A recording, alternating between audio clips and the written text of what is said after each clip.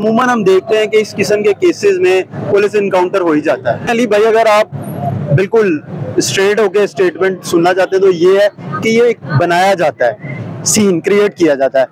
कि भाई आया, भाई ने मार दिया। इससे पहले ये होता था कि आप पेशी पर लेके जा रहे हैं या फिर आप बरामदगी के लिए लेके जा रहे हैं, असले की या कोई भी चीज़ होती थी, उसमें होता था कि नामालूम आए।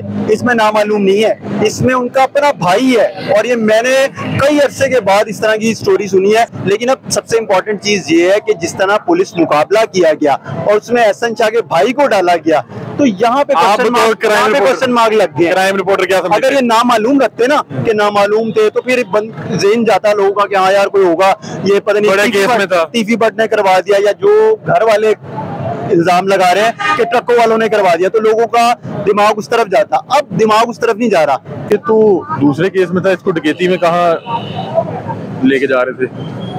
बरामदगी के लिए। वो उनके उनको पता है। जिन्होंने डकैती का मुकदमा डाला ना कि डकैती का मुकदमा था इसने डकैती की होगी। हमारे साथ एक क्राइम रिपोर्टर मौजूद हैं बड़े सीनियर फराज निज़ाम।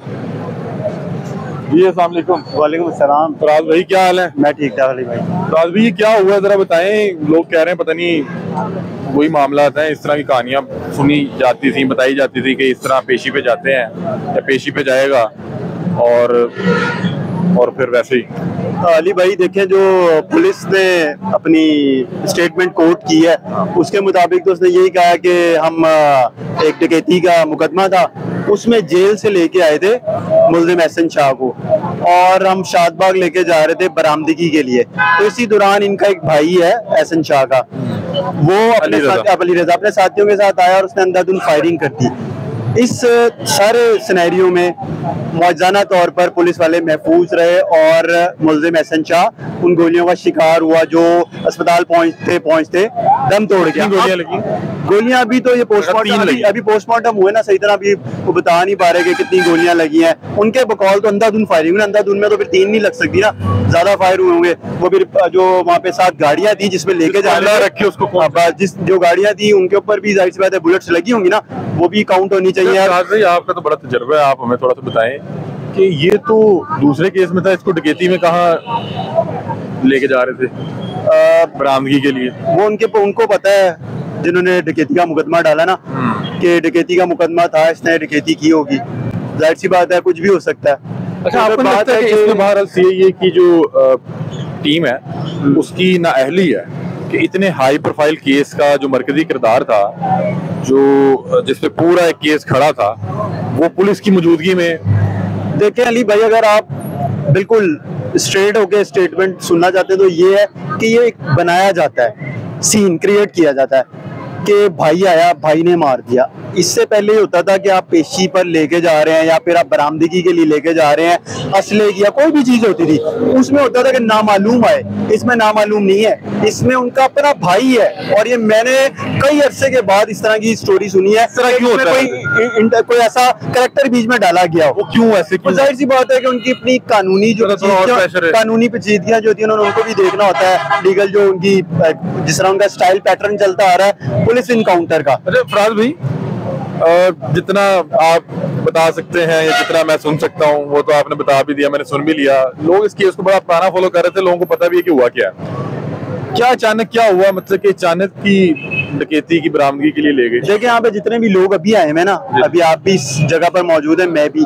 तो देखें ये होता है कि जो केस आपके सामने आया गोलियाँ लगी अमीर बिलाज जो टीपू थे हुआ। वो जहाँ बाप हो गए ठीक है? उसके बाद जो भी पुलिस की इन्वेस्टिगेशन हुई पुलिस ने जो इन्वेस्टिगेशन की उसमें चीज़ सामने आई। पुलिस के मुताबिक कानून के मुताबिक के एस एन शाह इसमें मुलविस है और एस एन शाह ने तराफ भी किया।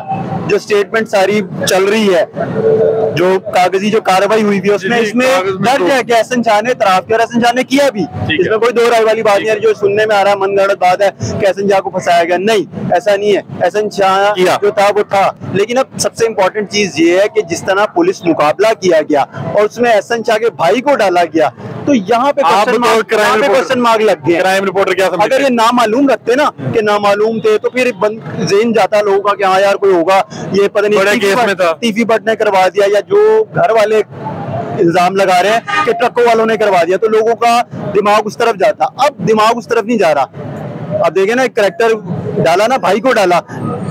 तो वो उससे बहुत से सवाल जन्म ले रहे हैं। ये आपको नहीं लगता कि इस तरह की मावरा अदालत जो कार्रवाई है ये जो बचा कुचा जुडिशियल सिस्टम पे एतबार है वो भी खत्म कर देगा? क्योंकि मामला इसी तरह जुडिशियल सिस्टम पे तो पहले का लोगों का एतबार जो है ना खत्म हुआ हुआ है। अब जिस तरह ये केस है देखिए हाई प्रोफ़ाइल केस था और इसमें ये होता है कि इतनी ज़्यादा उसका अमल दखल पाया गया है। तो अमूमन हम देखते हैं कि इस किस्म के केसेस में पुलिस इनकाउंटर हो ही जाता है। नहीं आपको वैसे मुझे इस हवाले से बताइएगा कि आपको नहीं लगता कि जिन पुलिस वालों की निगरानी में मतलब कि ये एक आ, मरकजी किरदार था एक इतने हाई प्रोफ़ाइल केस का तो उनसे भी पूछा जाता है कि भाई आप इसकी सिक्योरिटी इंश्योर नहीं कर सके। नहीं नहीं ऐसा नहीं होता। वो देखें उनकी लीगल टीम होती है। लीगल एडवाइजर्स होते हैं वकला होते हैं फिर उनके अपने जो पुलिस डिपार्टमेंट में ऑफिसर्स हैं एसपी रैंक का डीएसपी रैंक का एसएसपी रैंक का वो लोग इस चीज़ों को लीगल मैटर्स को देख रहे होते हैं। उन्होंने फिर किस तरह केस को आगे लेके चलना है वो उसके मुताबिक अपने कहाँ से कानूनी कार्रवाई कागज़ी वो अदालत में पेश करते हैं और उस तरह उस केस को लेके चला जाता है। तो अभी तक आप देख लें बहुत कम ही होता है। अभी अगर बहुत से केसेस मैंने ऐसे देखे हैं घर वाले उठ के अदालत चले गए और उन्होंने कहा जी हमारे दो बच्चे पुलिस मुकाबले में मार दिए एक मार दिया तीन मार दिए एक ही मोहल्ले के भी। ऐसे केसेस हैं। हाँ, हाँ। मैं आपको रेफरेंस भी कोट कर सकता हूँ लेकिन लंबा होता जाएगा उसमें कुछ होता नहीं है। उसमें कुछ नहीं होता। इन द एंड ये होता है कि वो घर वाले जो होते हैं वो पीछे हो जाते हैं। अच्छा फराज भाई लास्ट चीज़ एक और मैं अब इतना मतलब कि आप जितना इंटेलिजेंट तो नहीं हूँ। भाईजान ये करीब कर लीजिए पता नहीं अब लाइट कैसी आ रही है। मैं इंटेलिजेंट इतना नहीं लेकिन मैं कल दो तीन चीज़ों पे जब सोचा कि एक तो ये इस पे इसका इल्ज़ाम इस पे ये था या ये जो इतराफ कर चुका था कि मुखबरी कर, कर रहा था लोकेशन दे रहा था और बताया जा रहा था कि इसमें इसकी बेल हो जानी थी।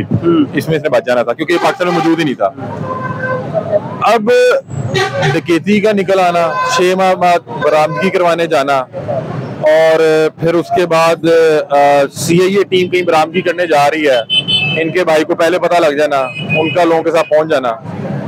तो ये नहीं ये ऐसी इसमें देखे ये होता है। नई चीज़ नहीं होता है। अब मैं हूँ मिसाल के तौर पे या मेरा कोई इस इस तरह का हाई प्रोफ़ाइल केस में है तो ज़ाहिर सी एक बंदा ऑलरेडी जेल में और इतने हाई प्रोफ़ाइल केस में सजा काट रहा है। तो उसके पीछे भी तो लोग होंगे ना कोई प्लानिंग दिमाग चल रहा होगा ना, जब आप केस अदालत के थ्रू लड़ रहे हैं तो आप छुड़वा भी सकते हैं। एक तो ये चीज़ है, ये हम वैसे ही इसको डिस्कस कर रहे हैं। और एक चीज़ ये है कि जिस तरह आपने पूछा, ये पुलिस ने जिस सारा सीन बनाया तो ये सीन बनाया गया और अमूमन इस तरह के पुलिस मुकाबले होते हैं। और उनको सिर्फ़ ये एक रंग दे दिया जाता है कि ना मालूम आए, उन्होंने मार दिया। देखिए, कितनी हैरान बात है कि इसमें इसको छह माह साल बाद रिहाई मिल जानी थी। हम्म। और उसने अपने लोगों को तैयार करके सीआईए टीम पे हमला करवा दिया। ये कैसी और वो वैसे ही है कि इस मुकाबले में भी कोई भी जो है जख्मी नहीं हुआ। पुलिस वाला ये बड़ी मौजाना तौर पे आप कह सकते हैं बड़ी खुशकिस्मती है पुलिस वालों की भी हाँ बिल्कुल। ये अमूमन होता है जो इस तरह के पुलिस मुकाबले होते हैं ना उसमें पुलिस वाले महफूज ही रहते हैं। अल्लाह हमारे जो रियासी इदारों के लोग हैं मुहाफिज हैं वर्दी वाले इनको महफूज रखे। आ, ये मामला थे फिराज निज़ाम जो हैं ये बड़े अच्छे क्राइम रिपोर्टर हैं इन्होंने तमाम तर गुफ्तु बड़े अच्छे अंदाज में मुझे समझाई उम्मीद करता हूँ आपको भी समझ आई होगी अपनी राय से। मैं आगा कीजिएगा तब तक के लिए अपने मेज़बान अली अमदा को दीजिए इजाज़त।